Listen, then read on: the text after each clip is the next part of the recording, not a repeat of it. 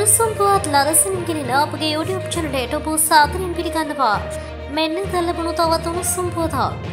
අධ්‍යාපන අමාත්‍යංශයේ ඉදිරිපිට අද පිරවරුවේ විරෝධතාවයක් පැවැත්වුණා.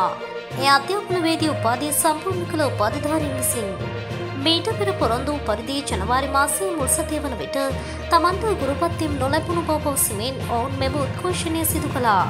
මේ අතර විරෝධතාවෙන් අනතුරුව උද්ඝෝෂකයන් සුසිල් ප්‍රමිජයන් තමත් එවරයා හමුවී සාකච්ඡා කළ බවයි වාර්තා වන්නේ. මෙවැනි උණුසුම් පුවත් ලදසිරින් දැන ගැනීමට අපගේ YouTube චැනලය සබස්ක්‍රයිබ් කර බෙල් අයිකනය ක්‍රියාත්මක කරන්න.